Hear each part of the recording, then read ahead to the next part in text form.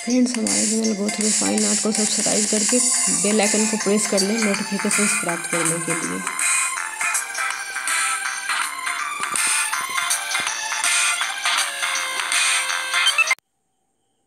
Friends आप लोग से रिक्वेस्ट है कि आप लोग वीडियो को अंत तक देखें और स्किप ना करें, क्योंकि आज मैं आप लोग के साथ इमेजेस भी लाई हूँ। लास्ट में आप लोग को मैं कुछ कुछ इमेजेस भी दिखाऊँगी, क्योंकि एन टी नेट के एग्ज़ाम में इमेजेस भी पूछे जाते हैं। तो देखिए, आज का सबसे पहला क्वेश्चन है कि एम एफ़ हुसैन पेंटिंग ज़मीन किस साल बनकर तैयार हुई? बहुत ही इंपॉर्टेंट क्वेश्चन है। तो एम एफ़ हुसैन की पेंटिंग ज़मीन जो है आपकी बनकर तैयार हुई 1955 में। 1955 में बनकर तैयार हुई है और एक साल लगा था बनाने में तो 1955 से छप्पन। तो ये दोनों ऑप्शन को ध्यान रखिएगा, अगर पचपन ना रहे तो छप्पन आपको लगाना है, ठीक है? नेक्स्ट है मदर तेरेसा पेंटिंग किसने बनाया? तो मदर तेरेसा पेंटिंग जो है आपका हुसैन साहब ही बनाए थे। हुसैन का जन्म कब और कहाँ हुआ? तो हुसैन का जन्म जो कि है 1915 में पंधरपुर में हुआ था। नेक्स्ट है, अकबर पदमसी का जन्म किस शहर में हुआ? तो अकबर पदमसी का जन्म आपका मुंबई में हुआ। पेंटिंग लेडी विद वीना किसकी चित्रकारी है? तो हुसैन की चित्रकारी है। मेटा स्केप लैंडस्केप सीरीज़ किसकी है? तो metascape landscape series Akbar Padamsee का है। अकबर पदमसी बहुत ही इंपॉर्टेंट आर्टिस्ट है एन टी नेट के लिए। ये एक घंटे का क्रैश कोर्स है। वीडियो को अंत तक देखें बार बार कह रही हूँ। के जी सुब्रमण्यम का पूरा नाम क्या है? तो के जी सुब्रमण्यम का पूरा नाम आपका कलपति गणपति सुब्रमण्यम है, यानी कि दो नंबर, लास्ट नंबर सही है। Kalpathi Ganapathi Subramanyan is the right answer. ये देखिए, मैं यहाँ पे आप लोगों को दिखा देती हूँ। दिस इज़ हाँ। नेक्स्ट है के जी सुब्रमण्यम का जन्म कब हुआ? तो इनका जन्म जो है 1924 में हुआ। के जी सुब्रमण्यम को पद्म विभूषण किस वर्ष मिला? तो 2012 में के जी सुब्रमण्यम को पद्म विभूषण से नवाजा गया। के जी सुब्रमण्यम को और किस नाम से जाना जाता है? तो उन्हें मनीदा के नाम से जाना जाता है। अहमदनगर किस स्कूल के अंग या भाग हैं? तो अहमदनगर आपका डेक्कन स्कूल के अंग या भाग है। यानी कि अहमदनगर जो है, डेक्कन स्कूल का ही एक पार्ट है। कबीर और रायदास के चित्रकार कौन है? तो फ़कीरुल्लाह खान है। ये question K V S N V S के लिए बहुत इंपॉर्टेंट है। रामपुरवा मूल मूर्ति कहाँ संग्रहित है? रामपुरवा मूल मूर्ति आपका राष्ट्रपति भवन, नई दिल्ली, यानी कि प्रेसिडेंट पैलेस, न्यू दिल्ली में संग्रहित है। बहुत इंपॉर्टेंट क्वेश्चन है। एन टी यूजीसी, नेट में अभी तक में चार से पाँच बार पूछा जा चुका है और K V S N V S G S T G T P G T सारे एग्ज़ाम में ये क्वेश्चन पूछे जाते हैं। सी स्तंभ यानी कि लायन कैपिटल सारनाथ किस पत्थर से बना है? तो पॉलिश्ड सैंडस्टोन से। मतलब कि पॉलिश सैंडस्टोन से बना है, ये भी बहुत इंपॉर्टेंट क्वेश्चन है। दीदारगंज यक्षी किस काल का है? तो दीदारगंज यक्षी आपका मौर्य काल का है। मैं आप लोग को बोलूँगी कि दीदारगंज यक्षी की इमेजेस देख के जाए, उनके हाथ में चौड़ी बियर है और भी उन्होंने क्या गहने पहने हैं, सब देख के जाएँ, क्योंकि हो सकता है कि ऐसे क्वेश्चंस आपको एन टी नेट में दे दिए जाए इमेज के रूप में और आपको बोलेंगे सॉल्व करने के लिए। नेक्स्ट है, कला का विरोधी शासक कौन था? तो कला का विरोधी शासक औरंगज़ेब था, सभी जानते हैं। नटराज कांस मूर्ति की भंगिमा पहचाने। तो नटराज कांस मूर्ति की भंगिमा है अति भंगा ये लास्ट टाइम इमेज में पूछा गया था। नतराज कांस की मूर्ति दी गई थी और बोला गया था, उससे पाँच क्वेश्चंस दिए गए थे, जिसमें से ये पता ही है कि नतराज जो है आपका चोल पीरियड से बिलोंग करता है। मुगल लघु चित्रकला की अवधि क्या थी? तो sixteen to nineteen century AD थी। चित्रकला नैनसुख कहाँ के रहने वाले थे? चित्रकला नैनसुख जसरोटा के रहने वाले थे। ये क्वेश्चन मुझे लगता है कि टू थाउज़ेंड हाँ टू थाउज़ेंड एटीन में पूछा गया था एन टी नेट में। एलोरा का निर्माण किस शासक ने किया था? एलोरा का निर्माण राष्ट्रकूट शासक ने किया था। फ्रेंड्स आप लोग मुझे चाहें तो यहाँ पे फॉलो कर सकते हैं। ये रहा हमारा फेसबुक आईडी यहाँ पे आप मुझे ये कर सकते हैं फॉलो कर सकते हैं। नेक्स्ट है, मुरक्का से अभिप्राय है। मुरक्का से अभिप्राय है चित्र एल्बम। यानी कि मुरक्का को क्या कहते हैं इंग्लिश में? तो चित्र एल्बम कहते हैं, ट्वेंटी टू है, अशोक स्तंभ के शिखर में कितने सिंह मूर्ति सिर है? तो चार है। चारों का नाम देख करके जाइएगा, जैसे कि शेर है, बाघ है सॉरी लायन है, और घोड़ा है, हाथी है और एक क्या है? साढ़ बैल है। तो ये आप लोग अच्छे से देख के जाइएगा मैं चारों, किधर कौन सी है? मात्र देवी की मूर्तियाँ कहाँ से प्राप्त हुई? तो मात्र देवी की मूर्तियाँ मोहन जोदड़ों से प्राप्त हुई। श्रृंगार दान कहाँ से प्राप्त हुआ है? तो श्रृंगार दान भी मोहन जोदड़ों से ही प्राप्त हुआ है। सिंधु घाटी का पूर्वी केंद्र कौन सा है? तो सिंधी, सिंधु घाटी का पूर्वी केंद्र आलमगीरपुर है। फ्रेंड्स मैं पूरे आप लोग को सौ क्वेश्चन से भी ज़्यादा क्वेश्चंस करवाने वाली हूँ तो वीडियो को अंत तक देखें। फिर है कि नीचे दिए गए विकल्पों में से धनराज भगत की मूर्ति का चयन करें। तो धनराज भगत की इसमें से मूर्ति जो है, वो है शिवादान सिंह। याद रखिएगा, शिवादान सिंह जो है, धनराज भगत की मूर्ति है। नेक्स्ट है, क्राइज अनहर्ड यानी कि अनसुखी चीखें किनकी कृति है तो ये आपका अमरनाथ सहगल का है। The sitar player and playing the flute मूर्ति, कौन से कलाकार की कृति है? तो ये भी धनराज भट्ट की, यानी कि तीन स्कल्पचर आप लोग को अभी तक दिखा चुके हैं। Shivadan Singh, the star, the sitar player and playing the flute, ये तीनों ही जो है धनराज भगत की हैं। नीचे दिए गए विकल्पों में से तैयब मेहता की पेंटिंग का पहचान करें। तो तैयब मेहता की पेंटिंग का नाम है सेलिब्रेशन और ये जो है डिप्टिक है ऑयल ऑन कैनवास है। थर्टी नंबर है the bird, the animal, the worms the snake, ये सभी काम किस कलाकार की रचना है? तो ये नागजी पटेल की है, बहुत इंपॉर्टेंट जैसे कि नागजी पटेल है, अमरनाथ सहगल हो गया, धनराज भगत हो गया और मान लीजिए कि एक देवी प्रसाद राय चौधरी, ये चारों को दे सकता है कि आप क्रोनोलॉजिकल में सजाएँ। तो क्रोनोलॉजी यानी कि सबका डेट ऑफ़ बर्थ ज़रूर देख के जाएँ। नेक्स्ट है इन बॉन्डेज मूर्ति किस कलाकार द्वारा बनाया गया? तो इन बॉन्डेज मूर्ति आप लोग का बनाया गया है प्रदोष दास गुप्ता द्वारा। In the mother's lap Pradosh Das Gupta ने बनाया। पहचान करें कि यह क्या है? तो यह एक मूर्ति है। ग्रुप एट्टी नाइन्टी की स्थापना किस वर्ष हुई है? तो ग्रुप एट्टी नाइन्टी की स्थापना नाइनटीन सिक्सटी थ्री में हुई है। 1963 में हुई है। Next the birth of Venus painting किस कलाकार की कृति है? तो the birth of Venus painting जो है आपका सेंद्रो बोतिचेली का है। बहुत ही इंपॉर्टेंट क्वेश्चन है।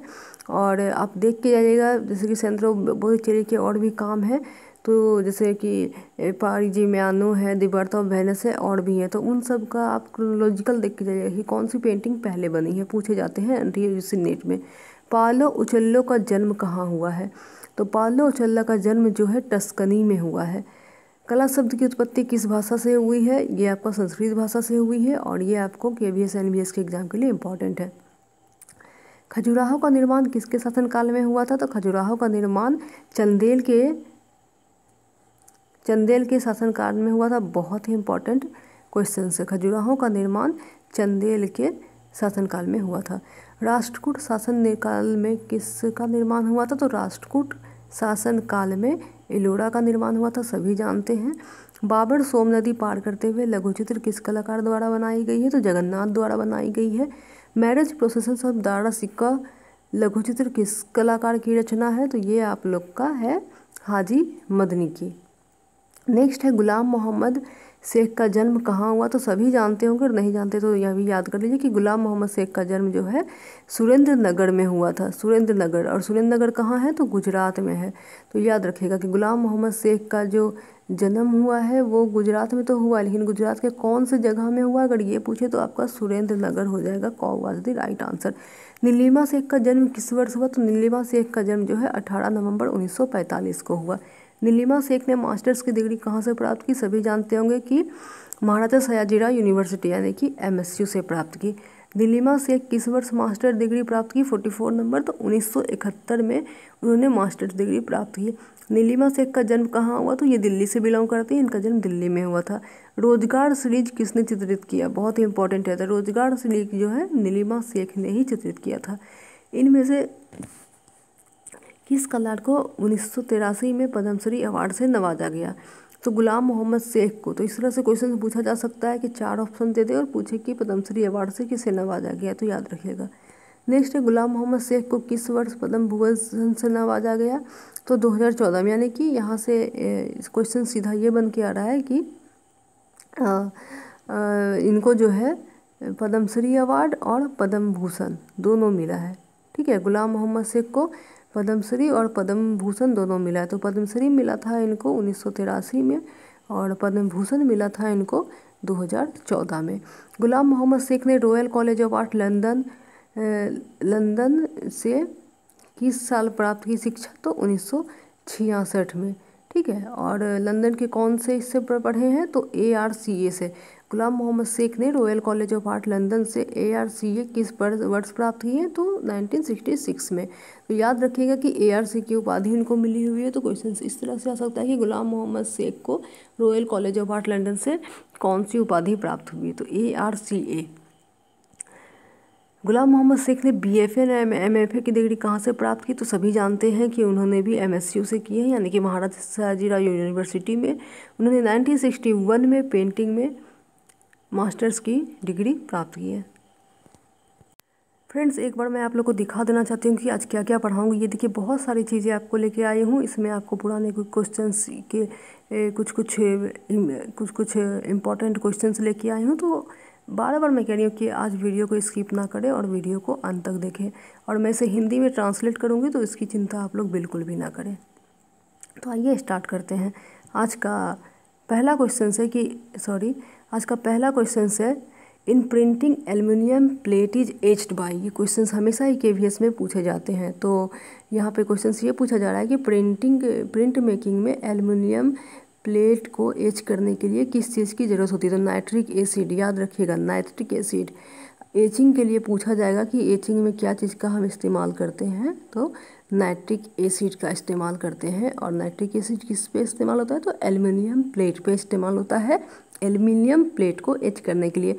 जब आप नाइट्रिक एसिड में एल्युमिनियम प्लेट को डालेंगे तो वो धीरे धीरे गलना शुरू हो जाता है और जिस जगह पे आप, मान लीजिए कि ये आपकी एक एलुमिनियम प्लेट है, अब मान लीजिए यहाँ पे आपने ये ये चीज़ मानिए ये पेड़ आपने बनाया। तो ये जो जगह है, जब आप एलुमिनियम प्लेट को नाइट्रिक एसिड में डालते हैं तो डालने के पहले आप ये सब जगह पे जो है आप आप ये लगा देते हैं। जप, जापानीज कल, जापानीज कलर, ठीक है? तो वो लगा देते हैं तो इस जगह पे जो है, प्लेट रिएक्ट नहीं करता है, बट ये जो पार्ट है, खाली रह जाता है, उस जगह पे प्लेट रिएक्ट करना शुरू कर देता है। अब देखिए lithography and offset water is common factor in printing यानी कि यहाँ पे क्वेश्चन सिंपल ये पूछ रहा है कि वाटर किसमें यूज़ किया जाता है? तो लिथोग्राफी एंड ऑफसेट ये दोनों में ही जो है वाटर बहुत ही कॉमन फैक्टर है प्रिंटिंग में। तो पूछा जा सकता है कि पानी का उपयोग किस चीज़ों में किया जाता है? वहाँ पे आप लोग को ऑप्शन में सेरीग्राफी दे दे उडकट दे दे लिथोग्राफी दे दे और भी कोई एक दे दे। तो आपको याद रखना है कि सेरीग्राफी में और उडकट में पानी की ज़रूरत नहीं होती है बट लिथोग्राफी और ऑफसेट में वाटर इज़ कॉमन फैक्टर है।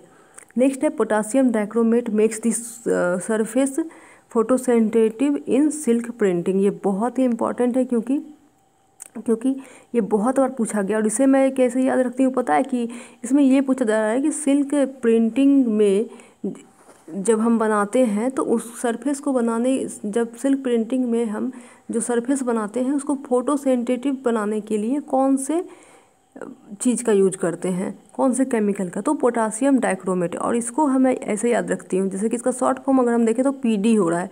तो आप लोग ये याद रखिए पीडी को उल्टा करके कि डीपी डीपी सभी लगाते हैं अपने फ़ोन में फेसबुक में और इंस्टाग्राम में या फिर आप अपना व्हाट्सअप में सभी डीपी लगाते हैं तो इसी को उल्टा कर दीजिए। तो जब भी ऑप्शंस रहता है तो पोटासियम डाइक्रोमेट रहता है सल्फेट इस तरह से कुछ रहते हैं, और भी कुछ कुछ ऑप्शन रहते हैं। तो डीपी जब याद रखिएगा तो आपको याद रहेगा कि अच्छा पी से होता है पोटासियम और डी से होता है डाइक्रोमेट तो पोटासियम डाइक्रोमेट और ये क्वेश्चन दो तीन बार एन टी नेट में पूछा गया। तो इसका फिर से मैं समझा दे रही हूँ कि सिल्क प्रिंटिंग में सरफेस को फ़ोटो सेंसिटिव बनाने के लिए पोटेशियम डाइक्रोमेट का इस्तेमाल किया जाता है। यहाँ पे इमेज देके आप लोग को मैं एक एग्जांपल दे देना चाहूँगी। फॉर एग्जांपल मान लीजिए कि ये आ, मेरा हाँ, सिल्क स्क्रीन है। अब यहाँ पे मान लीजिए कि ये हमने एक आदमी का फेस बनाया ये आदमी का फेस बना दिया। अब इसको हमें फ़ोटो सेंसिटिव बनाना यानी कि फ़ोटो सेंसिटिव मतलब समझ ही रहे जब हम कोई चीज़ का निगेटिव बनाते हैं तो तो ये जगह पे हम क्या करेंगे पोटासियम डाइक्रोमेट का यूज़ करते हैं तब जाके जो सरफेस है फ़ोटो सेंटेटिव हो जाती हैं। नेक्स्ट यहाँ पे हम बात कर रहे हैं कि कौन कौन से प्रिंट मेकर है। थर्टी नंबर थर्टी नंबर देखिए Rembrandt William Blake Pablo Picasso is a print maker ये लोग पेंटर भी हैं। रेमब्रा आप लोग जानते होंगे कि पेंटर है विलियम ब्लैक भी पेंटर है। बट कभी कभी जो पेंटर हैं, वो स्कल्प्टर भी होते हैं, वो प्रिंट मेकर भी होते हैं, वो सेरामिक भी करते हैं, वो टेपेस्ट्री भी करते हैं तरह तरह की चीज़ें करते हैं। तो इसमें से रेम्ब्रा विलियम ब्लेक और पाब्लो पिकासो ये तीनों जो है बहुत ही इंपॉर्टेंट पेंटर के साथ साथ प्रिंट मेकर भी हैं। तो ये क्वेश्चन आप लोग कन्फ्यूज़ मत होइएगा। पूछा जाता है। इवन हो सकता है कि इसको सीरीज़ में दे दिया जाए कि सॉरी तीस नंबर देखिए, हो सकता है कि सीरीज़ में दे दिया जाए कि रेमब्रांड विलियम ब्लैक और पाब्लो पिकासो को आप इसमें करें और क्रोनोलॉजी में सजाएँ। तो याद रखिएगा कि सबसे पहले रेमब्रा ही होगा, फिर विलियम ब्लैक होगा, उसके बाद पाब्लो पिकासो होगा, क्योंकि रेमब्रा जो है आपके पहले के आर्टिस्ट हैं, उसके बाद आपका विलियम ब्लैक थे एंड देन पाब्लो पिकासो आए थे। फिर थियोदरो जेलिकॉल तो थियोदरो जेलिकॉल जो है, एक पेंटर है, और ये चारों ही जो मैं आपको नाम दी हूँ Rembrandt William Blake Pablo Picasso और थियोरो थियोदरो जेरिकॉल बहुत ही इंपॉर्टेंट है, इनके पेंटिंग ज़रूर देख के जाएँ डेट देख के जाएँ कौन कौन से काम किए हैं देख के जाएँ, अगर एचिंग किए हैं तो एचिंग के अगर रेमब्रा के कुछ इंपॉर्टेंट काम है, उसको ज़रूर देख के जाएँ। नेक्स्ट है आपका correct sequence in original origin temple sorry उससे पहले मैं पिकासो के बारे में कुछ कहना चाहूँगी।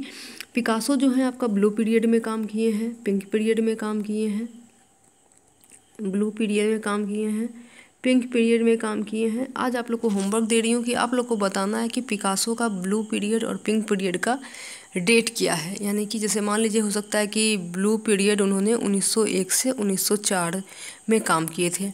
फिर पिंक पीरियड में वो कब काम किए थे, ये आप लोग को मुझे बताना है कमेंट करके कमेंट बॉक्स में। और पिकासो की तो बहुत इंपॉर्टेंट बहुत इंपॉर्टेंट पेंटिंग है ली दोमन लेलेस्को और गुएरनिका तो ये सब पेंटिंग की डेट ज़रूर देख के जाएँ। दी लेमलेस्को हो गया गुएरनिका हो गया। और क्योंकि हो सकता है कि प्याब्लो पिकासो की और भी दो तीन पेंटिंग ऐड कर दिया जाए और बोले कि क्रोनोलॉजी में आप कीजिए इसीलिए। या फिर ऐसा हो सकता है कि जब हम लोग तर्क और आर्ग्यूमेंट में हम एन टी नेट में क्वेश्चन पूछे जाते हैं, या फिर हो सकता है कि एन टी नेट में क्वेश्चन इस तरह से भी अभी नया अगर हम क्वेश्चन देखें तो ऐसा होता है कि एक क्वेश्चन से को आप A B C D E में डिवाइड कर देते हैं और पूछ लेंगे कि चलिए पाब्लो पिकासो एक प्रिंट मेकर है या नहीं है? पाब्लो पिकासो एक पेंटर है पाब्लो पिकासो की पेंटिंग गुएर्निका बनाई गई है गुएर्निका कौन से मीडियम में है? और अगर गुएर्निका कहाँ संग्रहित है? गुएर्निका का डेट क्या है? इस तरह से दे दिया जाएगा और उसमें से कुछ ऑप्शन सही होंगे, कुछ ऑप्शन गलत होंगे या फिर कभी कभी ऐसा भी होता है कि नहीं, सारे ऑप्शन तो सही होने की जब सवाल ही नहीं पैदा होती है क्योंकि उसमें साफ़ पूछा जाता है कि ए सी और एफ़ हो सकता है सही है। यानी कि छः ऑप्शन रहेंगे, उसमें से तीन या चार ऑप्शन सही रहते हैं, ठीक है? तो इस तरह से ज़रूर पढ़ के जाएँ। नेक्स्ट हम बात करेंगे correct sequence in Odishan temple question number thirty one देखिए। तो अमालका कलसा खापुड़ी अयोध्या, ये जो है आर्किटेक्चरल टर्म्स पहले भी मैं आप लोग को बताई थी कि जब भी आप लोग को यहाँ पे पूछा जाए कि, जब भी आप लोग को पूछा जाए कि कोई भी ओडिसन को नॉट ओनली ओडिसन टेम्पल्स काफ़ी सारे जो भी इधर नॉर्थ के साइड के टेंपल होते हैं, उसमें सबसे पहले अमालक ही होता है। अमालक जैसा कि आंवला बोलते हैं ना, ऐसे आंवला से याद रखिए, आंवला में इस तरह से भाग बना होता है। ये है आपका अमालक। तो आप देखिएगा हिंदू टेंपल में इस तरह की चीज़ें होती हैं। अमालक के नीचे जो है आपका कलसा होता है, ठीक है? अमालक के नीचे जो है कलश होता है, यानी कि इस तरह की जो कलश मान लीजिए जैसे मैं बना दी कलश उसके बाद आपका खापुड़ी होता है और खापुड़ी के बाद अयोध्या होता है। तो ये ओरिसन टेंपल का जो है करेक्ट सिक्वेंस है। नेक्स्ट है, फिर से यहाँ पे देखिए, thirty two number chronological sequence ही है। तो धर्मराज का stupa Bhaja chaitya Durga temple of Aihole and Konark sun temple अभी मान लीजिए सेम ये चार चीज़ को आपको ऐसे ही दे दे और बोलेगा कि रिवर्स में रिवर्स में आप इसको सॉल्व करें। तो रिसर्व में कर रिसर्च रिवर्स में करने के लिए इसको आप उल्टा कर देंगे। सबसे पहले कोनार्क सन टेंपल आ जाएगा, फिर दुर्गा टेंपल ऑफ़ ऐहोले आ जाएगा, एंड देन भाजा चैत्य आ जाएगा, एंड देन धर्मराज का स्तूप आ जाएगा। तो याद रखिएगा। नेक्स्ट क्वेश्चन की ओर हम चलते हैं। Sequence of ground plan in temple architecture अभी यहाँ पे आप पूछ रहा है ग्राउंड प्लान पूछ रहा है टेंपल आर्किटेक्चर का। तो आर्की टेंपल के जो आर्किटेक्चर होते हैं, उसके ग्राउंड प्लान का सिक्वेंस बनाना है। तो सबसे पहले ग्राउंड प्लेन में सोपन होता है। सबसे पहले सोपन होता है, जैसे कि सॉरी सबसे पहले सोपन होता है और सोपना जो है सीढ़ी को बोलते हैं। जब भी आप साउथ के स्कल्पचर्स देखेंगे तो मान लीजिए कि ये एक सीढ़ी बना हुआ है चढ़ने के लिए। ठीक है, इधर सीढ़ी है और सीढ़ी में जो ये पाया होता है, इसमें घुमा करके कुछ डिज़ाइन बना होता है, उसे ही हम सोपन बोलते हैं। मान लीजिए कि कोई टेंपल पे चढ़ने के लिए सीढ़ी होती है ना, उस सीढ़ी से ही तो आप चढ़ते हैं। तो सीढ़ी से चढ़ने के बगल में वहाँ पे इस तरह से ये रहता है पीलर टाइप का। उस पीलर में कुछ डिज़ाइन बना रहता है। उसे ही हम सोपन कहते हैं। इसीलिए सबसे पहले यहाँ पे सोपन को रखा गया है। उसके बाद मंडपा। सभी जानते हैं कि मंडपा होता है। मंडपा के बाद अंतराला। अंतराला यानी कि अंदर की उसके बाद अंतराला जहाँ होती है, वहीं पर मूर्ति क्या होती है? स्थापित होती है। तो उसको हम बोलते हैं गर्भागृह। तो टेंपल आर्किटेक्चर के अगर हम ग्राउंड प्लान को देखें तो सबसे पहले सोपन होगा, फिर मंडपा होगा, फिर अंतराला होगा, उसके बाद गर्भागृह होगा।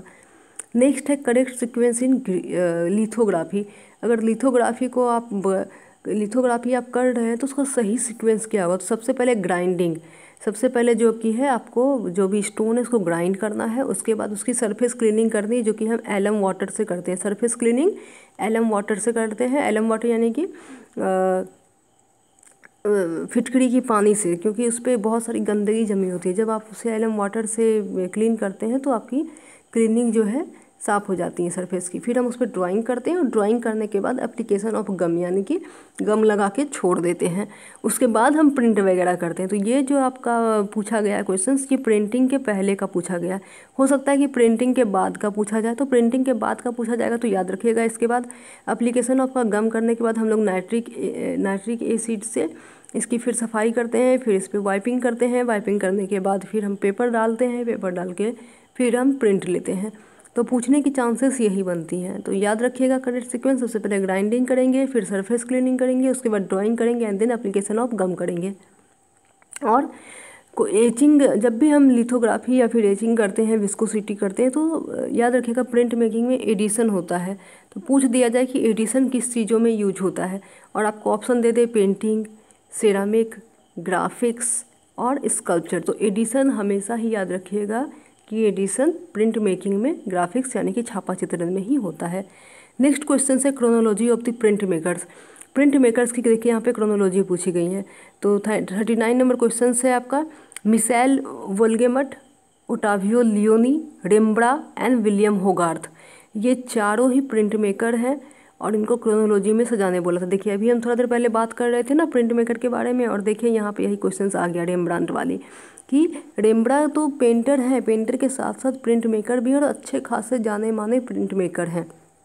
इसीलिए इस इस तरह के क्वेश्चन पूछे जाएँगे और इस तरह के क्वेश्चन आज नहीं, हर साल पूछा जाता है कि एक प्रिंट मेकर को बोलेंगे क्रोनोलॉजी में सजाने, एक स्कल्पचर को बोलेंगे क्रोनोलॉजी में सजाने और एक सेरामिक को दे सकते हैं। अगर सेरामिक को नहीं देंगे सजाने के लिए तो ऐसा पूछ सकते हैं कि उसमें से इस आर्टिस्ट में से सेरामिक आर्टिस्ट को पहुँचा, पहचाने। मान लीजिए कि देवी प्रसाद राय चौधरी दे दे, ईरा चौधरी दे दे गुरुचरण सिंह दे दे और ज्योत्सना भट्ट दे दे। तो इसमें से देवी प्रसाद राय चौधरी छोड़ के तीनों ही जो है सेरामिक आर्टिस्ट हैं। ईरा चौधरी ईरा चौधरी और गुरुचरण सिंह और ज्योत्सना भट्ट तो याद रखिएगा। तो क्रोनोलॉजी बोला है सजाने के लिए, और इसी को अगर रिवर्स में बोल दे सजाने के लिए कि प्रिंट मेकर को रिवर्स में सजाएँ तो आपका पहले विलियम होगा आ जाएगा, फिर डेम्बड़ा फिर ओटा वियो लियोने और उसके बाद मिसकेल। वोल्गेमट तो ये जो है सबसे पहले बॉर्न हुए हैं, इसीलिए इसको पहले रखा गया है, उसके बाद इनका जन्म हुआ, उसके बाद रेमबड़ा का जन्म हुआ और उसके बाद विलियम होगाट को। आप लोग हमेशा असेंडिंग डिसेंडिंग को याद रखिएगा, बहुत बार आप यही नहीं समझ पाते कि आरोही क्या है, अवरोही क्या है और क्वेश्चन आप लोग गलती करके चले आते हैं। तो समझा देती हूँ, आरोही का मतलब बढ़ते क्रम, यानी कि जिनका जन्म पहले हुआ है, और अवरोही मतलब घटते क्रम मतलब सौ, उसके बाद नब्बे, फिर सेवेंटी, फिर सिक्सटी। और असेंडिंग डिसेंडिंग को इंग्लिश में बोलते हैं, आरोही, अवरोही। चालीस नंबर देखिए करेक्ट क्रोनोलॉजी ऑफ़ स्कल्पचर्स पूछा गया स्कल्पचर्स यानी कि मूर्तियों को पूछा गया। अब देखिए, यहाँ पे दे दिया है मुखाभ्यास, श्रृंगार टॉयलेट द बुल अब देखिए, कितना डिफ़िकल्ट है ये चीज़ करना, क्योंकि टॉयलेट हम जानते हैं कि देवी प्रसाद राय चौधरी की है दाबुल भी देवी प्रसाद राय चौधरी की ही है। श्रृंगार भी देवी प्रसाद राय चौधरी की है। अब मुखाभ्यास मुझे अभी याद नहीं है कौन से स्कल्पचर्स के हैं। तो अभी देखिए यहाँ पे ये काफ़ी थोड़ा सा मुझे डिफ़िकल्ट ये क्वेश्चंस दिख रहा है। तो ऐसे क्वेश्चंस अगर आप नहीं जान पाते हैं तो आप टुक्का मार के आगे बढ़ जाइए। क्योंकि एन टी में तो माइनस मार्किंग है नहीं। नेक्स्ट है forty one number correct sequence of the sculptors यहाँ पे भी देखिए कितने सारे स्कल्प्टर से क्वेश्चंस पूछे गए हैं कि उनके क्रोनोलॉजी को आप लोग बताएँ। यहाँ देखिए, यहाँ भी स्कल्प्टर्स यहाँ भी स्कल्प्टर्स यहाँ पे प्रिंट मेकर यहाँ पे भी प्रिंट मेकर से ही क्वेश्चंस है, यहाँ पे फिर आर्किटेक्चर्स तो हर चीज़ पूछे जाते हैं। तो यहाँ पे ऑप्शन में आपका है अजीत चक्रवर्ती एम धर्मानी, राघव कनेरिया। ये क्वेश्चन अभी फिर आएँगे सामने अच्छे से। देखिए यहाँ पे हाँ forty one number chronology sequence of the sculptors तो अजीत चक्रवर्ती सबसे पहले आएँगे, फिर एम धर्मानी आएँगे, उसके बाद राघव कनेरी आएँगे, फिर झनक झनकार नरजान, नरझरी आएँगे। और इसमें सबसे इंपॉर्टेंट आप लोग का है राघव कनेरिया। राघव कनेरिया के काम को देख के जाए। इससे एक क्वेश्चंस बनते हैं। नेक्स्ट है metal casting of hollow cast wax image यानी कि वैक्स जो कि मेटल कास्टिंग का प्रोसेस है, जिसे हम होलो कास्ट वैक्स इमेज कहते हैं, उसका प्रोसेस बताया गया है, उसको कैसे करेंगे? यानी कि क्रोनोलॉजी में तो सबसे पहले हम मोल्ड बनाते हैं मेकिंग ऑफ़ मोल्ड फिर फिक्स रनर करते हैं, फिर फायरिंग ऑफ़ मोल्ड करते हैं एंड फिर फिल कोर करते हैं। ये क्वेश्चंस भी हमेशा N T NET K V S N सभी में पूछे जाते हैं तो मैं आप लोग से रिक्वेस्ट करूँगी कि ये क्वेश्चंस आप लोग अच्छे से रट लें। अगर ये याद नहीं होता तो आप रट रट ले कि मेकिंग ऑफ़ मोल्ड यानी कि एम एफ़ फिक्स रनर यानी कि F R firing of mould, यानी कि एफ़ एम और फिल कोड, यानी कि एफ़ सी इस तरह से याद कर ले। M F F R F M F C यानी कि एम एफ़ से हो गया making of mould F R से हो गया फिक्स रनर एफ़ एम से हो गया फायरिंग ऑफ़ मोल्ड और एफ़ सी से हो गया फिल कोड। इस तरह से आप लोग शॉर्ट फॉर्म करके याद कर सकते हैं। अब हम यहाँ पे देख रहे हैं। सिक्सटीन नंबर क्वेश्चन देखिएगा। Bird is an effect achieved on metal. तो ये क्वेश्चंस आपको पूछे जाएँगे कि बर्ड क्या है। तो याद रखिएगा, बर्ड जो है, एक इफ़ेक्ट है जो कि मेटल में यूज़ किया जाता है। बर्ड कहाँ से आ रहा है? तो बर्ड आपका प्रिंट मेकिंग के टर्म से आ रहा है। तो बर्ड का इफ़ेक्ट हम किस चीज़ में अचीव करते हैं? तो मेटल में अचीव करते हैं, याद रखिएगा। नेक्स्ट है seventeen number graphic image editing program introduced by Adobe सभी जानते हैं मतलब ये आपको कंप्यूटर से क्वेश्चंस पूछ दिया गया है। और ग्राफिक से ही रिलेटेड है। Graphic image editing program introduced by Adobe यानी कि ये पूछा गया कि ग्राफिक में जो की है एडिटिंग प्रोग्राम को किसने इंट्रोड्यूस करवाया था? तो एडोब ने करवाया था। जैसे कि हम लोग जानते हैं एडोब फोटोशॉप है। तो ये ग्राफिक इमेज की एडिटिंग के लिए बहुत ही हेल्पफुल किया है। तो ऐसे क्वेश्चंस अनएक्सपेक्टेड होते हैं और पूछ दिए जाते हैं। नेक्स्ट है लेसिज मोर एटी नंबर ये जो लेसिज मोर है, ये किसने कहा था? तो ये लुडविंग मिस वैंडर रोहे ने कहा था कि लेसिज मोर अगर आपके पास कम भी है तो वो ज़्यादा है। और ये तथ्य किन का है? तो ये लुडविंग मिस वैंडर रोहे का है। उसके बाद है Ivan Chermayeff and Thomas Geismar design the logo of Xerox तो जीरोक्स के लोगों को किसने डिज़ाइन किया था? तो जीरोक्स के लोगों को डिज़ाइन किया था Ivan Chermayeff and Thomas Geismar ऐसे क्वेश्चंस पूछने जाने की संभावना एक दो रहती हैं और डेफिनेटली इसके आंसर बहुत कम लोग जानते हैं तुक्का मार के ही करते हैं। तो ऐसे क्वेश्चंस को स्किप कीजिए। इसलिए मैं कहती हूँ कि जब भी आप एन टी नेट में अपनी तैयारी पूरी करते हैं, तब जाके आप साठ से सत्तर क्वेश्चन सॉल्व कर पाते हैं, क्योंकि उससे ज़्यादा क्वेश्चन सॉल्व करना बहुत मुश्किल होता है और जानते भी नहीं, क्योंकि दस, बीस, तीस क्वेश्चन ऐसे ही होंगे जो आपको नहीं आता है और आपको घबराने की ज़रूरत नहीं है। नेक्स्ट है Nicolas Jenson developed full roman typeface for the first time यानी कि निकोलस जेंसन जो है रोमन टाइप फेस को डेवलप किए थे कब? सबसे पहले। सबसे पहले यानी कि रोमन टाइप फेस को किसने कंप्लीट डेवलप किया था? तो निकोलसन जेंसन का। अब देखिए यहाँ पे उन्नीस नंबर क्वेश्चन बीस नंबर क्वेश्चन बहुत ही इंपॉर्टेंट भी है और ऐसे क्वेश्चन हम लोग पढ़ के भी नहीं जाते हैं। नेक्स्ट है correct sequence north to south in India twenty one number तो अभी जो है टेम्पल्स आप लोग को दिए गए हैं और उस टेम्पल्स को जो है आपको नॉर्थ से साउथ की ओर आप लोग को ये करना है, सजाना है। कभी कभी ऐसे पूछ देते हैं कि साउथ से नॉर्थ की ओर करें तो ये चीज़ को ध्यान रखिए। अगर साउथ से नॉर्थ बोले तो सबसे पहले साउथ के टेंपल को रखें और अगर नॉर्थ बोले तो सबसे पहले नॉर्थ तो नॉर्थ में सबसे पहले आपका हो जाएगा मारतंड, उसके बाद हो जाएगा संघोल, फिर हो जाएगा भीम उसके बाद हो जाएगा जग्यापेट्टा। नेक्स्ट है रिवर्स क्रोनोलॉजिकल मोन्यूमेंट्स। देखिए, रिवर्स पूछा है तो ये सब चीज़ ध्यान से पढ़ा कीजिए कि क्या पूछा गया है, रिवर्स पूछा है कि क्या पूछा है। रिवर्स मतलब आपको उल्टा सजाना है। तो सबसे पहले उल्टा में क्या हो जाएगा? मोन्यूमेंट्स की बात की है। ये वीडियो मैं आप लोग को कंप्लीट वीडियो डाल दी हूँ। बहुत पहले डाली थी, छः सात महीना पहले। वो वीडियो आप देख ले, उसमें हम सारा ही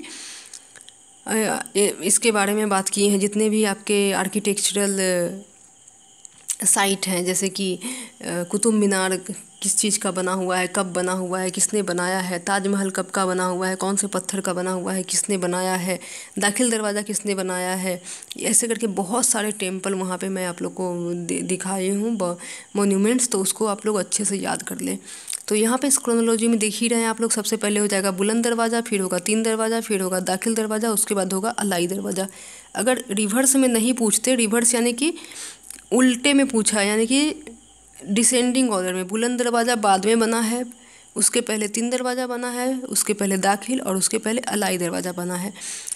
और अगर इसको रिवर्स में नहीं पूछता, सिर्फ़ इसको कहता कि आप सही सीक्वेंस में क्रोनोलॉजिकल मोन्यूमेंट्स को सजाएँ, या फिर ऐसा क्वेश्चन रहता कि arrange this monuments in chronological sequence तो आपका सबसे पहले अलाई दरवाज़ा आता, फिर दाखिल दरवाज़ा आता, फिर तीन दरवाज़ा आता एंड देन बुलंद दरवाज़ा आता। नेक्स्ट क्वेश्चंस की ओर चलते हैं।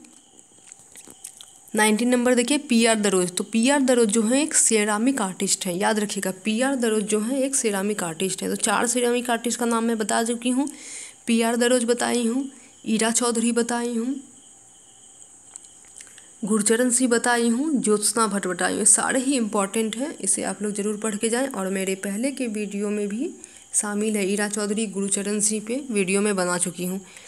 नेक्स्ट है स्कल्प्टर हाँ यहाँ पे देखिए स्कल्प्टर पूछा गया कि कौन कौन स्कल्प्टर हैं? तो देखिए गिरीश भट्ट, मृणालिनी मुखर्जी और बलान नंबायर जो है स्कल्प्टर हैं। हो सकता है कि यहाँ पे एक ऑप्शन होगा, जिसमें वो पेंटर या कोई होंगे और इसमें से तीन स्कल्प्टर को हमें पहचानना था। तो ये भी आप लोग को याद रखना कि कौन से आर्टिस्ट स्कल्प्टर हैं, कौन से पेंटर है, कौन से सेरामिक आर्टिस्ट है, कौन से प्रिंट मेकर हैं। तभी तो आप इसे यहाँ से छाट पाएँगे। अगर आपको पता ही नहीं होगा कौन प्रिंट मेकर है तो आप कैसे छाटेंगे? नेक्स्ट है, ये क्वेश्चन बहुत ही इंपॉर्टेंट है कि कले को जो है, क्ले को मजबूती कौन प्रदान करता है? ये क्वेश्चन हमेशा पूछे जाते हैं। क्ले को मजबूती कौन प्राप्त करता है? तो क्ले को मजबूती हमें हस्क से मिलती है। हस्क से। तो याद रखिएगा स्ट्रेंथ टू क्ले। ऐसे क्वेश्चन पूछे जाते हैं कि कले को, क्ले को, यानी कि मिट्टी को किस चीज़ से मजबूती प्राप्त होती है? तो हस्क से। नेक्स्ट है, Malar artist are known for their metal casting तो मलार आर्टिस्ट जो होते हैं, वो मेटल कास्टिंग के लिए जाने जाते हैं। तो याद रखिएगा एम से मेटल एम से Malar. Meera Mukherjee inspired from the work of bell metal artist जैसे कि मल्लार आर्टिस्ट होते हैं वैसे ही बेल आर्टिस्ट भी होते हैं और ये भी मेटल के लिए काम करते हैं। तो बेल मेटल आर्टिस्ट से इंस्पायर थी कौन? मीरा मुखर्जी। मीरा मिखर मुखर्जी और मृणालिनी मुखर्जी दोनों सिस्टर थी। तो मीरा मृणालिनी मुखर्जी जो हैं किस चीज़ को लेके काम की हैं? वो आ, धाग, सुतरी वगैरह को लेके काम की हैं, सभी जानते हैं, रस्सी को लेके काम की हैं उन्होंने मसा मसाकड़े किए हैं, ठीक है? पूछा जाएगा कि मीरा मुखर्जी के काम का सॉरी मेरे नालना, मेरे नालनी मुखर्जी के काम में कौन सी चीज़ों का यूज़ किया गया? तो मसाकड़े याद रखेगा M A S A C R A C R E या फिर सीधा याद रखिएगा रस्सी, काम देख के जाइएगा। और मीरा मुखर्जी जो हैं उनका काम किससे इंस्पायर था? तो बेल आर्टिस्ट से, और उनके काम की टेक्निक क्या थी? तो डोकड़ा। डोकड़ा से वो बहुत इंस्पायर थी, और डोकड़े से ही वो काम करती थी। तो मिखिरा मुखर्जी का काम जो है मेटल में होता था मीडियम मेटल होता था, और ये इंस्पायर हुई थी बेल मेटल आर्टिस्ट से, और ये काम करती थी डोकड़ा स्टाइल में। नेक्स्ट है borax is use for purification of metal for casting तो पूछा जाए कि अगर मेटल को हमें प्योरीफाई करना है, जैसे कि हम लोग पानी को प्योरीफाई करते हैं, सभी जानते हैं तो उसी तरह से अगर हम मेटल कास्टिंग कास्टिंग के लिए अगर मेटल को प्योरीफाई करना है तो उसके लिए हम क्या चीज़ का यूज़ करेंगे? तो बोरेक्स का यूज़ करेंगे। किस चीज़ का यूज़ करेंगे? बोरेक्स का यूज़ करेंगे। मेटल कास्टिंग अगर करना है और उसको प्योरीफाई करना है तो बोरेक्स इज़ दी सॉल्यूशन, ठीक है, याद रखिएगा। यहाँ पे देखिए, हमें मिट्टी को स्ट्रेंथ यानी मजबूती प्राप्त करने के लिए हस्क का यूज़ करना है और अगर कास्टिंग करना है मेटल का तो उसको प्योर करने के लिए हम बोरेक्स का यूज़ करेंगे। Dancing torso found from Mohenjo is made of terracotta यानी कि सिंपल से यहाँ क्वेश्चन ये हो रहा है कि जो डांसिंग टोर्सो मोहन जोदरो से प्राप्त हुआ है, वो किस चीज़ का बना हुआ है? तो वो टेराकोटा से बना हुआ है। नेक्स्ट है कृष्णा रेड्डी बिलोंग्स टू हैदराबाद कृष्णा रेड्डी से काफ़ी क्वेश्चंस आते हैं और मैं बता दूँ कि कृष्णा रेड्डी जो है स्टेनली हेटर से कृष्णा रेड्डी जो है स्टेनली हेटर से विस्कोसिटी की शिक्षा प्राप्त किए थे। किससे? किससे? स्टेनली हेटर से। और कहाँ से? तो पेरिस ये गए थे पढ़ाई करने के लिए। वहीं पे उन्होंने स्टेनली हेटर के अंदर जो है अपनी विस्कोसिटी की पढ़ाई किए थे और इंडिया के सबसे पहले आर्टिस्ट है जिन्होंने विस्कोसिटी को इंडिया में इंट्रोड्यूस करवाया। कौन से आर्टिस्ट कृष्णा रेड्डी। अब ये नहीं रहे हैं बट बहुत ही इंपॉर्टेंट क्वेश्चन है और ये कहाँ से बिलोंग करते हैं? तो हैदराबाद से बिलोंग करते हैं। नेक्स्ट है metal surface is needed for viscosity process यानी कि विस्कोसिटी प्रोसेस के लिए कौन से मेटल का यूज़ कौन से सरफेस का यूज़ करते हैं? तो मेटल सरफेस का यूज़ करते हैं। In print making aluminium plate is etched by तो in print making aluminium plate is etched by nitric acid ये क्वेश्चन में पहले भी करवा चुकी थी। ये भी, अब यहाँ पे देखिए, यहाँ पे जो हम अभी कह रहे थे आप लोग को पहले कि पाब्लो पिकासो के करेक्ट सीक्वेंस को आप लोग पढ़ के जाएँ। देखिए same question thirty four number यहाँ यही पूछा गया है कि correct sequence of the works of Pablo Picasso तो ये तो सबको पता होगा कि गुएर्निका उन्होंने बहुत एंड में पेंट किए थे, ठीक है? बट उससे पहले उन्होंने Les Demoiselles d' Avignon paint किए थे और उसके पहले कौन पेंट किए थे, ये हम लोग को कन्फ्यूज़न हो जाएगी। तो अब हम इसे अपने ऑप्शंस में जब भी ये क्वेश्चंस ना आए तो आप लोग ये देखिएगा कि डी एविगोन और गुएर्निका तो सबसे पहले यहाँ पे Les Demoiselles d' Avignon paint हुआ एंड देन गुएर्निका गुएर्निका उनकी लास्ट पेंटिंग थी, ऐसा समझ लीजिए। ये आपका स्पेनिश वार पे था। पूछा जाएगा कि गुएर्निका का थीम क्या था? तो गुएर्निका का थीम था स्पेनिश जो वर्ल्ड वार हुआ था स्पेनिश जो वर्ल्ड वार हुआ था, उसी के थीम को लेके उन्होंने बनाए थे। उसमें क्या हुआ था, इनके काफ़ी सारे फ्रेंड जो हैं लॉस्ट हो गए थे, यानी कि मर गए थे उस वॉर के दौरान। तो उसी पे उन्होंने अपने फ्रेंड्स को, अपने फैमिली को मेमोरी के रूप में याद रखने के लिए ये पेंटिंग बनाए थे गुएरनी का अभी देखिए यहाँ पे सबसे पहले है इनका द ओल्ड गिटारिस्ट यानी कि सबसे पहले द ओल्ड गिटारिस्ट को वो पेंट किए हैं, फिर ला वाइस को पेंट किए हैं, उसके बाद लेस डोमिस्कल दी एविगन को पेंट किए हैं, जो कि लेस डोमिस्को को हिंदी में हम लोग बोलते हैं three dancers three dancing girls देखते होंगे कि तीन लड़की जो है डांस कर रही है इसीलिए उसको आ, उनके टर्म में स्पेनिश में बोला जाता है ली डोमेसल दी एविगोन लेकिन हिंदी में बोला जाता है थ्री डांसिंग गर्ल और इसकी इमेज भी मैं आप लोग को अभी दिखा देती हूँ। फिर देखिए लास्ट पेंटिंग है गुएर्निका तो अभी मैं कह ही रही थी आपको कि पाब्लो पिकासो के काम के सीक्वेंस को देख के जाए, इसलिए कह रही थी। अब हम देख लेते हैं लेस डोमेस्कल दी एविगन का इमेज आप लोग को दिखा देती हूँ। देखिए, ये राइट हैंड साइड ये वाला है, ये फोटोग्राफ्स नहीं, ये जो आप देख रहे हैं, यही पेंटिंग है। यही है पाब्लो पिकासो की पेंटिंग देखिए, जिसे हम बोलते हैं the young ladies of Avignon the young ladies of Avignon, और स्पेनिश में बोलते हैं, Les Demoiselles d' Avignon painted by Pablo Picasso medium oil है ऑयल ऑन कैनवास और कब पेंट किया गया है? 1907 में पेंट किया गया है। तो याद रखिएगा, और गुएर्निका कब पेंट किया गया था? गुएर्निका 1915 में पेंट किया 1915 या फिर 1900 हाँ आई थिंक 1915 में ही पेंट किया गया था। आप लोग देख लीजिएगा एक बार कि गुएर्निका का डेट क्या भी मुझे ठीक से थोड़ा याद नहीं है। तो यही है पेंटिंग पाब्लो पिकासो की। देखिए। इमेज देखने से आप लोग को चीज़ें याद रह जाएँगी। नेक्स्ट है chronological sequence of the scholars question number thirty five अब यहाँ पे स्कॉलर्स यानी कि ये स्कॉलर्स हैं कौन? ये हम लोग को सबसे पहले पता करना होगा, क्योंकि बहुत लोग नहीं जानते हैं। तो ये स्कॉलर्स हैं यानी कि ये राइटर हैं। राइटर हैं यानी कि ये लेखक है। ये आर्ट हिस्टोरियन है। सीधा मैं समझाऊँ तो ये सारे ही आपके आर्ट हिस्टोरियन हैं सॉरी आर्ट हिस्टोरियन है, ठीक है? तो सबसे पहले है परसी ब्राउन। परसी ब्राउन का जन्म सबसे पहले हुआ था। उसके बाद आनंद कुमार स्वामी का जन्म हुआ है। उसके बाद स्टेला क्रामलिस का हुआ है। फिर सुजैन हंटिंगटन का जन्म हुआ है। तो ये चारों ही आर्ट हिस्टोरियन हैं।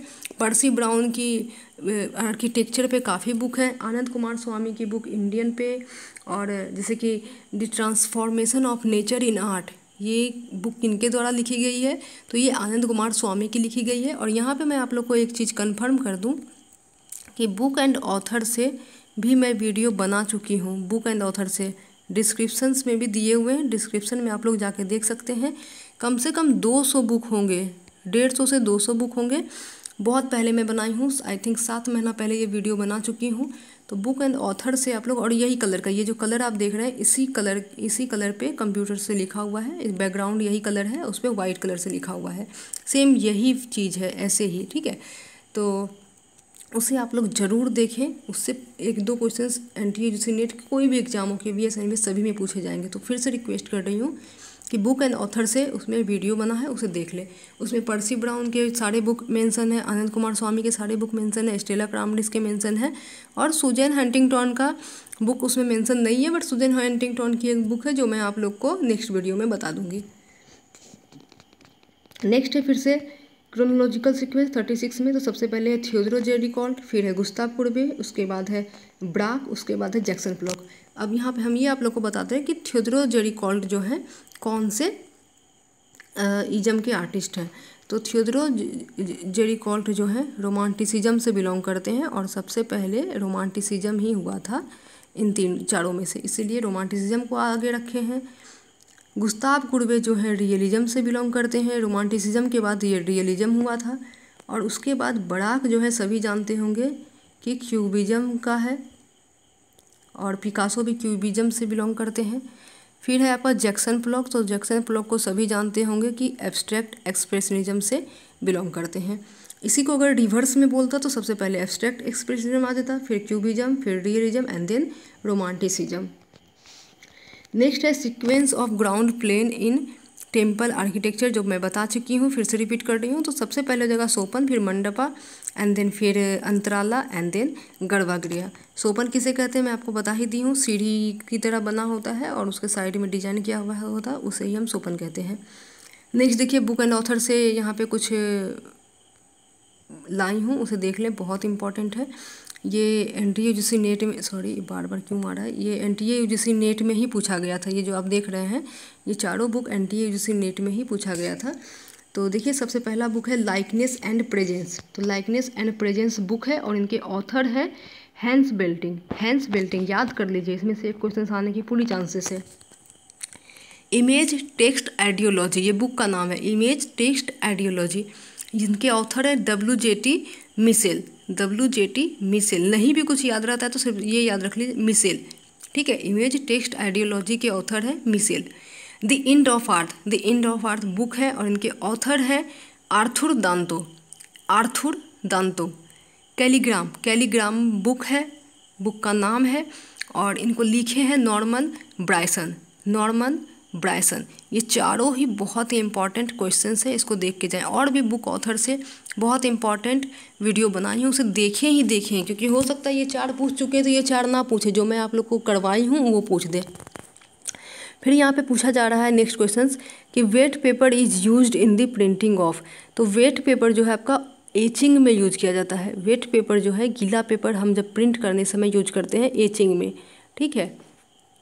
तो ये आप लोग का हो गया। नेक्स्ट देखिए archaeology site Dholavira is situated in Gujarat. यानी कि एक आर्कियोलॉजिक साइट है धौलावीरा, सभी सुने होंगे, वो कहाँ सिचुएटेड है? तो वो गुजरात में सिचुएटेड है। Masroor rock cut monolithic temple are located in Kangra ऐसा पूछ रहा है क्वेश्चन कि Masroor rock cut monolithic temple जो है, वो कहाँ लोकेटेड है? तो वो कांगड़ा में लोकेटेड है। रॉक कट मतलब तो समझ ही रहे हैं कि पत्थर को काट के बनाया गया है। चट्टान को काट के जो है मोनोलोथिक टेंपल बनाया गया है, जिसका नाम है Masroor rock cut monolithic temple कहाँ है? तो कांगड़ा में है। नेक्स्ट है इंडो इस्लामिक मोन्यूमेंट अलाई दरवाज़ा इज़ लोकेटेड एट दिल्ली यानी कि अलाई दरवाज़ा जो है इंडो इस्लामिक मोन्यूमेंट है। और ये कहाँ लोकेट है? तो ये दिल्ली में लोकेट है।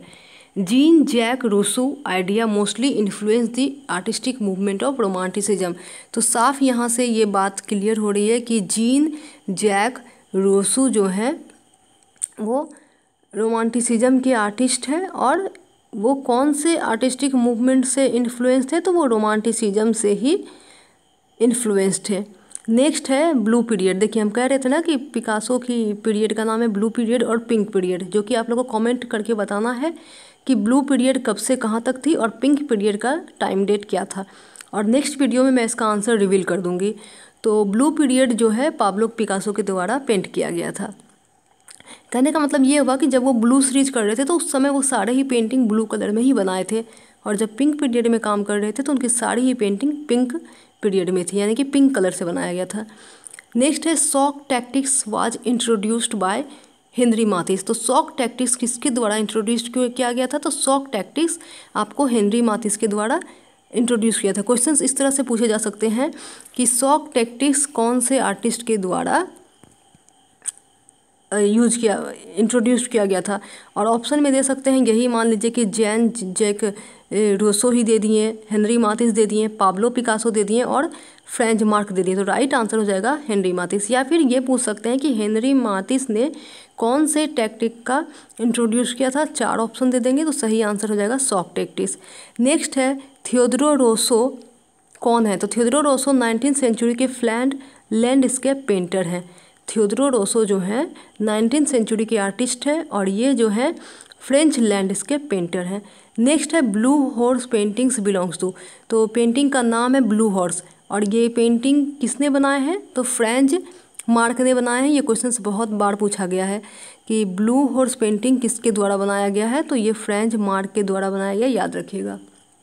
नेक्स्ट है आप लोग का कि Himmat Shah studied at M S U Baroda. यानी कि हिम्मत शाह कहाँ से पढ़ाई किए हैं? तो हिम्मत शाह एम एस यू यानी कि महाराजा सयाजीराव बड़ौदा से पढ़ाई की। अब देखिए दोस्तों, आप लोग के लिए कितना मेहनत करके वीडियो बनाते हैं। ये देखिए पाँच बज रहा है, ये सुबह के पाँच बज रहे हैं। ना ही शाम है, समझ रहे हैं? ये मॉर्निंग है पाँच बजे और चार बजे ही मैं उठ के आज वीडियो शूट क्यों क्योंकि मुझे टाइम नहीं मिल रहा था तो मैं मॉर्निंग में उठ के शूट कर रही हूँ आप लोग के लिए, ताकि कुछ आप लोग को मदद मिल जाए। तो इतना मैं आप लोग के लिए जाग के कर रही हूँ तो आप लोग से यही उम्मीद करती हूँ कि आप लोग प्लीज़ वीडियो को अंत तक देखें, मेरे channel go through fine art को सब्सक्राइब करें, अगर वीडियो पसंद आ रही है तो लाइक करें और कमेंट करके ज़रूर बताएँ कि नेक्स्ट वीडियो आपको कौन से टॉपिक पे चाहिए।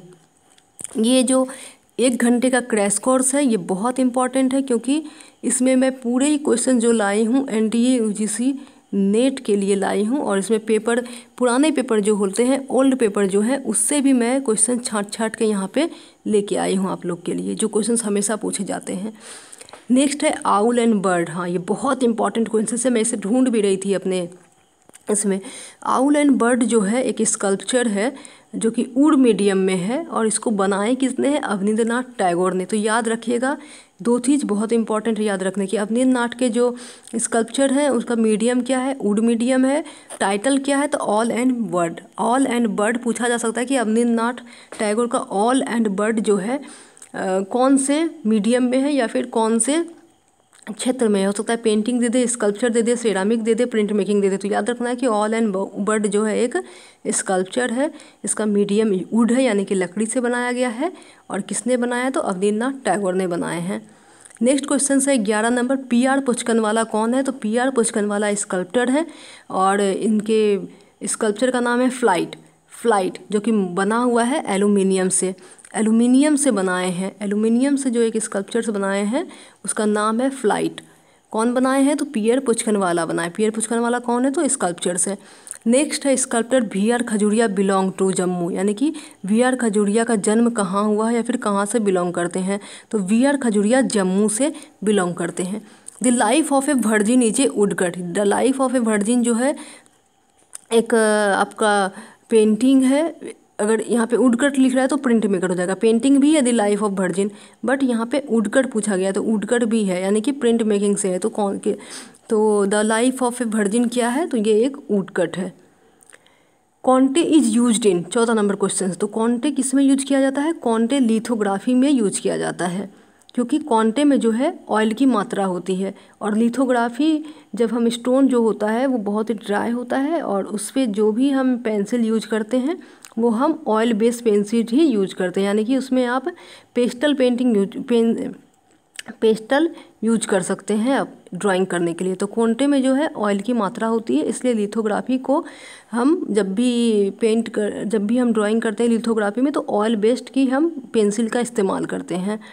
तो यहाँ पे आप लोग का राइट आंसर हो जाएगा कोंटे कोंटे याद रखिएगा। नेक्स्ट है fifteen number the term under cutting is related to तो the term under cutting is related to etching क्योंकि अंदर से उसे काटा जाता है लिथोग्राफी अंदर से नहीं काटते हैं। ठीक है? इसीलिए द टर्म अंडर कटिंग किससे रिलेटेड है? तो एचिंग से रिलेटेड है। नेक्स्ट क्वेश्चन आप लोग का है burr is an effect achieved on metal ये पहले भी मैं आप लोग को बता चुकी हूँ।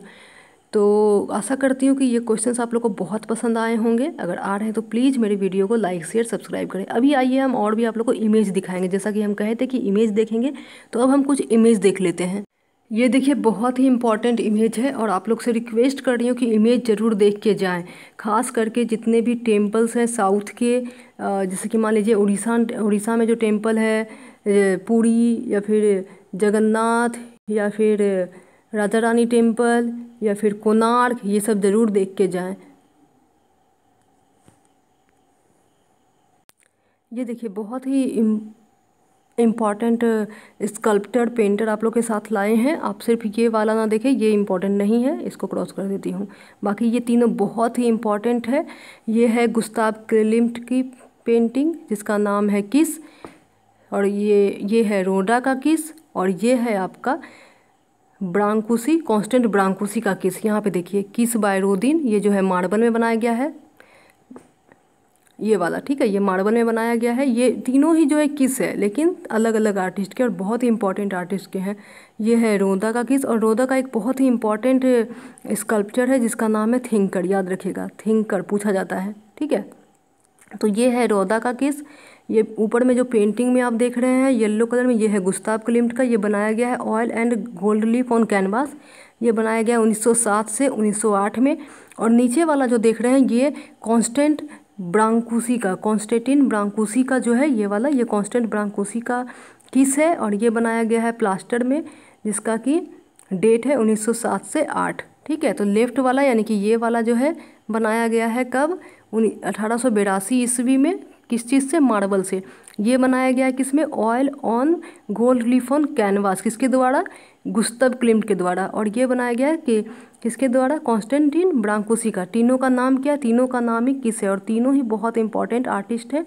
इससे क्वेश्चंस पूछे जा सकते हैं। नेक्स्ट हम इमेज देखेंगे। ये इतना इम्पोर्टेंट नहीं है, इसको मैं स्किप कर देती हूँ। हाँ इसमें से देखिए फ़र्स्ट नंबर मिडिल वाला मत देखिएगा। मिडिल वाला जो स्केच है, क्योंकि ये इंपॉर्टेंट नहीं है। पहला जो है आपका माथियस ग्रुनवेल्ड माथियस ग्रुनवेल्ड जो है आर्टिस्ट है और उन्होंने ये एक पैनल में पेंट किए थे जिसका नाम है Isenheim altar piece Isenheim altar piece by Matthias Grunewald ये ऑयल ऑन पैनल है। कब पेंट किया गया है? 1512 से 1516 सी में। और इसी पेंटिंग से इंस्पायर होकर सालवादर दाली बनाए हैं। सालवादर दाली क्रूसीफिक्सन बनाए हैं, जो कि उन्नीस सौ चौवन में बनाए थे। सालवादर दौली, आप लोग को मालूम होगा कि सरियलिज्म आर्टिस्ट है और इनके पेंटिंग का नाम है the persistence of memory the persistence of memory and melting watch बहुत ही इंपॉर्टेंट है, दोनों ही। द परसिस्टेंस ऑफ़ मेमोरी और मेल्टिंग वॉच दोनों ही जो पेंटिंग है बहुत ही इंपॉर्टेंट है और सालवा द्वारी के द्वारा पेंट किया गया है।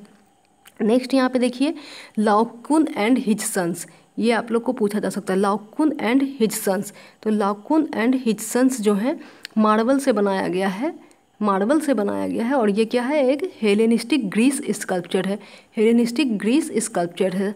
अब ये वाला अगर हम देखें राइट साइड वाली तो ये भी लाकुन है और ये किसके द्वारा पेंट किया गया है? एल ग्रीको के द्वारा पेंट किया गया है। किसके द्वारा पेंट किया गया? एल ग्रीको के द्वारा पेंट किया गया है। कौन सा मीडियम है? Oil and canvas. कब पेंट किया गया? 1610 से 14 सी में।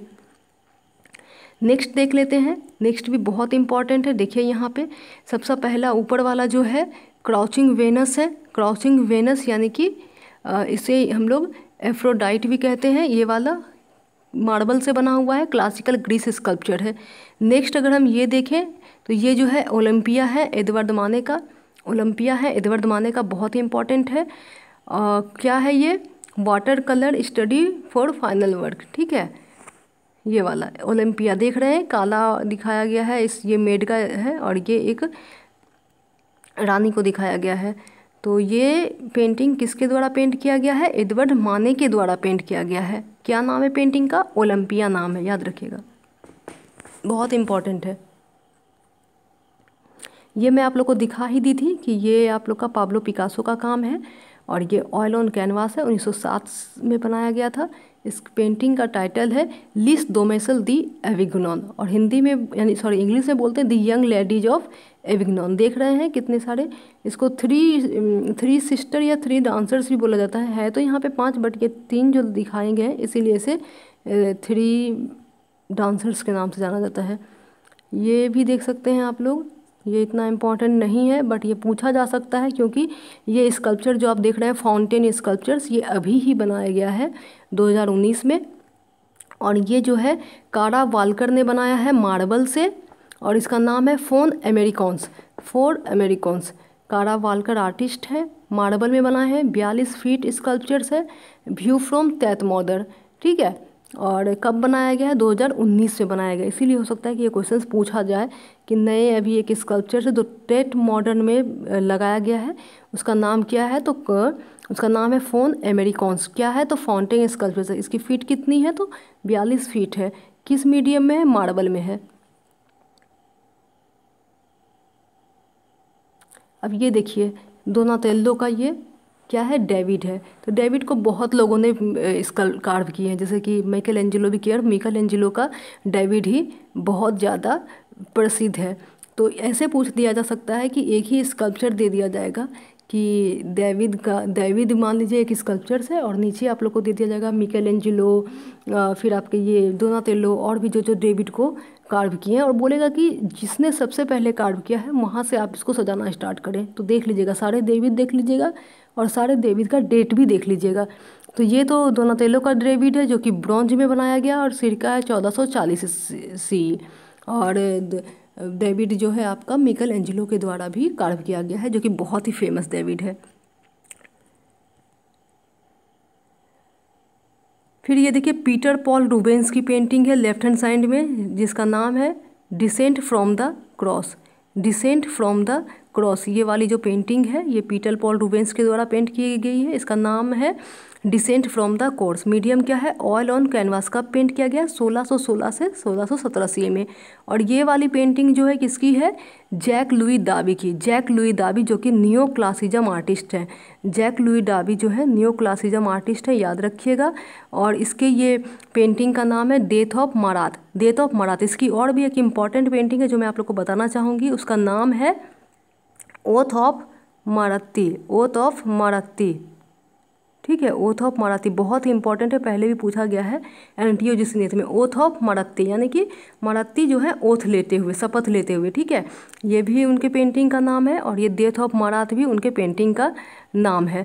और आर्टिस्ट कौन है? Jacques Louis David Jacques Louis David कौन से इजम के आर्टिस्ट हैं? तो नियो क्लासिज्म के आर्टिस्ट हैं नियो क्लासिज्म के आर्टिस्ट हैं। और दोनों ही पेंटिंग पेंट किया गया है ऑयल ऑन कैनवास पे। और डेथ ऑफ़ मराठ जो कि जैक लुई दाबी के द्वारा ऑयल ऑन कैनवास पे पेंट किया गया। इसका डेटेड है सत्रह सौ तिरानवे ईस्वी नीचे में देखिए, नीचे में यहाँ पे देखिए, एम मारात लिखा भी हुआ है। यहाँ पे देखिए, ए मारात लिखा भी हुआ है। और आर्टिस्ट का नाम क्या है? तो डेविड है। ये देखिए, बहुत ही इंपॉर्टेंट पेंटिंग है। Third of May by Francisco Goya. Third of May of third of May जो कि फ्रांसिस्को गोया के द्वारा पेंट किया गया है। मीडियम का यह है ऑयल ऑन कैनवास है और सॉरी ऑयल ऑन कैनवास है। और कब पेंट किया गया है? तो 1808 सी में पेंट किया। ये वाली जो है, इसी की पेंटिंग को देख के फ्रांसिस्को गोया की पेंटिंग को देख के इंस्पायर हुए थे पाब्लो पिकासो और उन्होंने इसका नाम दिया था मसाकड़े इन कोरिया तो इंपॉर्टेंट कौन सा है? इंपॉर्टेंट थर्ड ऑफ़ मे है, ना कि पाब्लो पिकासो ठीक है? तो थर्ड ऑफ़ मे किसके द्वारा पेंट किया गया था? फ्रांसिस्को गोया के द्वारा। मीडियम क्या है? ऑयल एंड कैनवास और कब पेंट किया गया? अठारह सौ आठ में, याद रखिएगा। Third of May by Francisco Goya short form में इसको सिर्फ़ गोया कहते हैं। तो ये हो गया, ये देखिए जैक्सन पॉलॉक हैं जो भी काम करते हुए दिखाई दे रहे हैं। ये सब आप लोग खुद पढ़ सकते हैं, सिर्फ़ इमेज दिखा दे रही हूँ।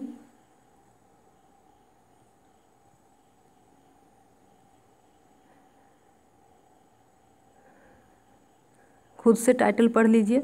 और एक घंटा होने को चला है फ्रेंड्स तो अब मैं वीडियो को यहाँ पे बंद करना चाहती हूँ और आप लोग से फिर से एक बार आग्रह करना चाहती हूँ कि फ्रेंड्स, प्लीज़ मेरे चैनल को सब्सक्राइब कर दें। बार बार कह रही हूँ, प्लीज़ सब्सक्राइब कर दें, चैनल को लाइक करें। वीडियो कैसी लगी ज़रूर कमेंट करके बताएँ और जो भी क्वेरीज आप लोग की है नेक्स्ट वीडियो किस पे चाहते हैं, वो ज़रूर बता दें। तो मिलते हैं हम फिर से एक नई वीडियो के साथ। तब तक के लिए आप लोग को best of luck for N T NET के एग्ज़ाम के लिए एकदम जाइए आराम से, अच्छे से बैठिए एग्ज़ाम में और अपने एग्ज़ाम को दीजिए। जो भी मेहनत कर रहे हैं, वो ज़रूर सफलता प्राप्त करेंगे। तो बाय बाय दोस्तों. Take care see you soon and have a nice day